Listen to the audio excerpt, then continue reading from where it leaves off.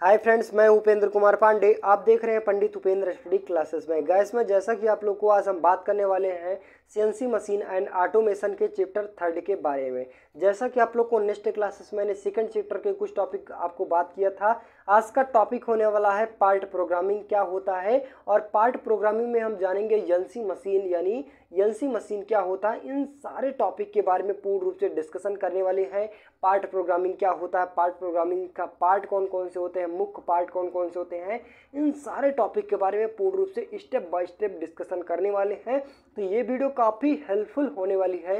Video last तक देखना, तभी आप लोग को समझ में आएगा। चलिए हम बात करें, जैसा कि आप स्क्रीन के माध्यम से देख पा रहे हैं चैप्टर थर्ड और हमारा टॉपिक होने वाला है, यानी जो चैप्टर का नाम है, क्या है हमारा पार्ट प्रोग्रामिंग अब पार्ट प्रोग्रामिंग का मतलब क्या होता है? अगर हम किसी भी प्रोसेस का किसी मशीनरी के द्वारा, किसी भी एनसी मशीन या फिर सीएनसी मशीन की, या फिर डीएनसी मशीन के द्वारा अगर कोई भी वर्कआउट कर रहे हैं तो उसमें एक किसी ना किसी प्रोग्राम की आवश्यकता पड़ती है। मीन्स किसी भी मशीन में अगर हम कहने का मतलब है मैकेनिकल हो गया कोई भी प्रोसेस किसी भी मशीन में अगर हम किसी भी कारखंड का मैन्युफैक्चरिंग प्रोसेस करना होता है तो किसी न किसी प्रकार का एक प्रोग्राम बनाना अति आवश्यक होता है, जिससे हमारा जो भी उसके चल पार्ट होते हैं, उनकी सहायता से हम आसानी से उस कार्य को संपन्न कराते हैं। तो ये कहने का मतलब हुआ कि मैकेनिकल इंजीनियरिंग में सीएनसी मशीन का भी ज़्यादा इंपॉर्टेंट है और साथ में प्रोग्राम का भी जानना ज़रूरी है। तो प्रोग्राम से रिलेटेड आप हम चैप्टर थर्ड में जानेंगे। चलिए पहला टॉपिक आता है हमारा यहाँ पे न्यूमेरिकल कंट्रोल यानी संख्यात्मक नियंत्रण क्या होता है?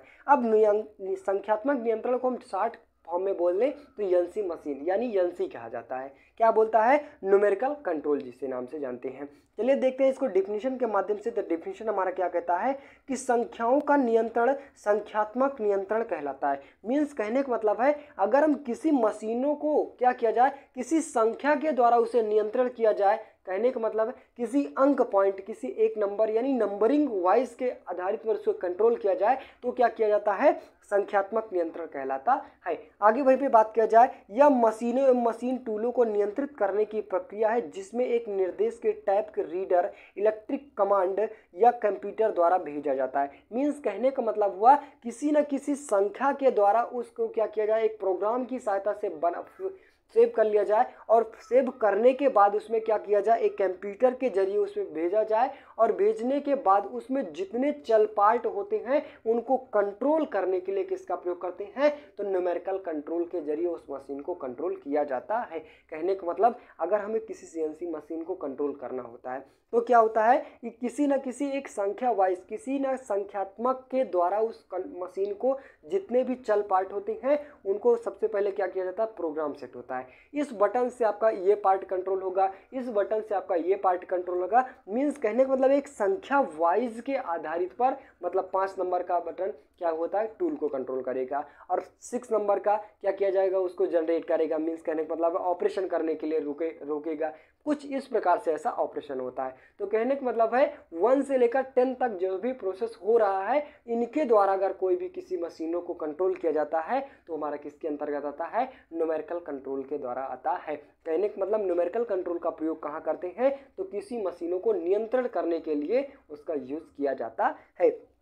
चलिए बात करें, जैसा कि आप लोग को इसका मेन फिगर क्या होता है मेन उद्देश्य क्या होता है, सबसे पहले हम क्या करते हैं प्रोग्राम बना लेते हैं। प्रोग्राम किसके ज़रिए बताता है तो किसी संख्या के द्वारा बनाया जाता है। और वहीं पे बात किया जाए, जब हमारा प्रोग्राम कंप्लीट हो जाता है प्रोग्राम को क्या किया जाता है कंप्यूटर में रनिंग करवाया जाता है तो रनिंग करवाने के बाद क्या किया जाता है मशीन कंट्रोल यूनिट जो भी उसके पार्ट होते हैं, जो भी चल पार्ट होते हैं, जो भी उसमें पार्ट होते हैं, उसको क्या किया जाता है कंट्रोल किया जाता है। एक यूनिट के बेस पर।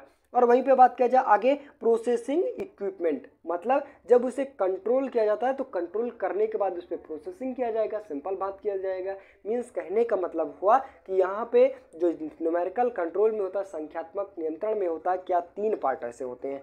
पहला हमारा क्या होता है, उसका प्रोग्राम बनाया जाता है। प्रोग्राम बनाने के बाद उस पर नियंत्रण किया जाएगा। मीन्स कहने का मतलब है, अगर हमें किसी कारखंड का पाँच एम mm का ब्यास चाहिए, पाँच एम mm का ब्यास की चाहिए तो क्या किया जाएगा? सबसे पहले उसका प्रोग्राम बना लेंगे। अब प्रोग्राम बनाने के बाद क्या किया जाए? किसी न किसी टूल के ज़रिए उस पर ऑपरेशन किया जाएगा तो टूल को क्या किया जाएगा? पाँच एम mm तक बना ब्यास बनाने के लिए उसको कंट्रोल किया जाएगा। और जब हमारा पार्ट कंट्रोल हो जाएगा, तब उस पर प्रोसेसिंग किया जाएगा। तब हमें क्या हो जाएगा? आउटपुट प्राप्त हो सकता है।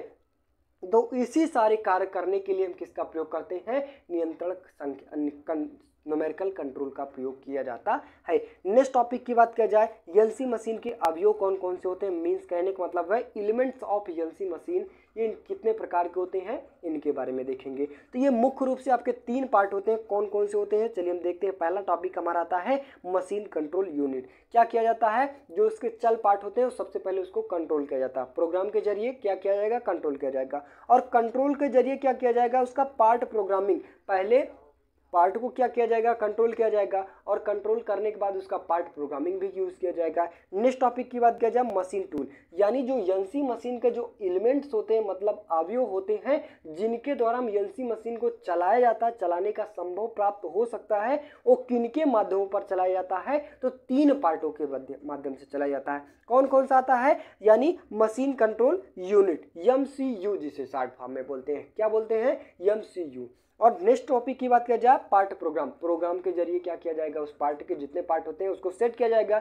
इतने बेसिस पे ये प्रोसेस होना है, इतने बेसिस पे ये प्रोसेस होना है। किसके द्वारा किया जाएगा? तो पार्ट प्रोग्रामिंग के द्वारा। और वहीं पे नेक्स्ट बात किया जाए, कारखंड पर ऑपरेशन कौन किया जाएगा? कौन करेगा? तो मशीन टूल के ज़रिए भी ऑपरेशन किया जाएगा। तो कहने का मतलब है एनसी मशीन के जो मेन मेन पार्ट होते हैं, वो कितने होते हैं? तीन प्रकार, तीन होते हैं।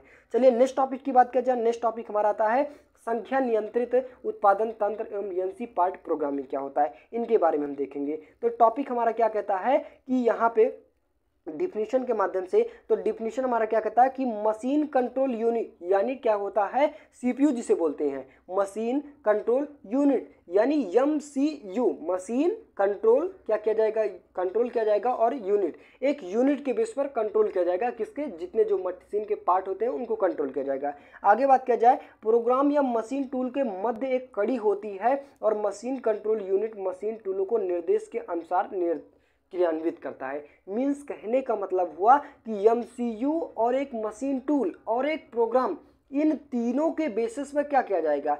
जब हमारा प्रोग्राम तैयार हो जाएगा तैयार होने के बाद किया जाएगा, उसको कंट्रोल किया जाएगा। और कंट्रोल किसके द्वारा किया जाएगा? तो एक कंप्यूटर के माध्यम से किया जाएगा और हमारा ऑपरेशन किन के द्वारा किया जाएगा? तो एक टूल के द्वारा। तो क्या किया जाएगा? एक संख्या वाइज यानी कहने का मतलब एक यूनिट एक कड़ी के बेसिस पर क्या किया जाएगा? उसको निर्देशित किया जाएगा और निर्देशित करने के बाद तब हमें आउटपुट प्राप्त होता है। तो वही कहने का मतलब है तो जो एम के निम्नलिखित अवयव होते हैं, यानी मेन पार्ट होते हैं, वो कौन कौन से होते हैं? चलिए हम देखते हैं यहाँ पे तो पहला हमारा आता है रीडर यूनिट। सबसे पहले क्या करते हैं एम यानी मशीन कंट्रोल यूनिट क्या किया जाता है, जो हमारा प्रोग्राम होता है उसको रीड करता है। मीन्स कहने का मतलब है, देखता है, पढ़ता है, किन के ज़रिए पे हमारा कैसा प्रोसेस होना है।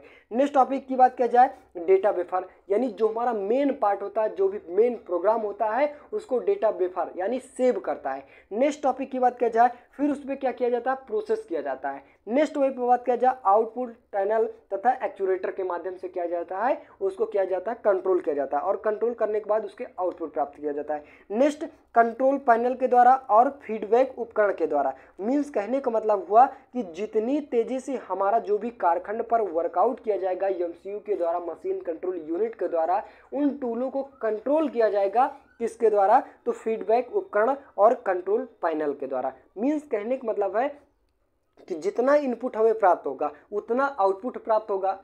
जितना इनपुट देंगे, उसी के अकॉर्डिंग जिस प्रकार से हम क्या कर जाएगा कंट्रोल पैनल के द्वारा उसे कंट्रोल किया जाएगा और कंट्रोल करने के बाद तभी तो हमारा आउटपुट प्राप्त होगा।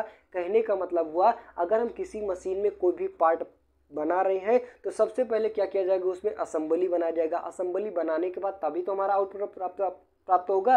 तो उसी प्रकार हमारा एम के जितने भी पार्ट होते हैं, ये सारे पार्ट अपने अपने कार्यों को सौंपते हैं। तभी हमें जाकर अपना पूर्ण रूप से यानी आउटपुट प्राप्त होता है। नेक्स्ट टॉपिक की बात किया जाए एनसी प्रोसेस क्या होता है, इनके बारे में देखेंगे। तो एनसी प्रोसेस हमारा क्या होता है, इनके बारे में तो इसको डेफिनेशन के माध्यम से देखेंगे। डेफिनेशन हमारा क्या कहता है कि एनसी प्रोसेस के पद निम्नलिखित होते हैं, जो इसका प्रोसेसिंग पॉइंट होता है एनसी मशीन का। एनसी न्यूमेरिकल कंट्रोल का प्रोसेसिंग पॉइंट होता है। वो कौन कौन सा होता है? चलिए हम देखते हैं पहला। तो पहला आता है प्रक्रम योजन यानी प्रोसेसिंग प्लानिंग क्या होता है? जैसे कि कारखंड पे अगर हम कोई भी ऑपरेशन करना होता है तो सबसे पहले क्या किया जाएगा? उसको सोच विचार कर लिया जाएगा। किस प्रकार से उसकी डिज़ाइनिंग रहेगी? किस प्रकार से उसका मटेरियल्स यूज़ किया जाएगा?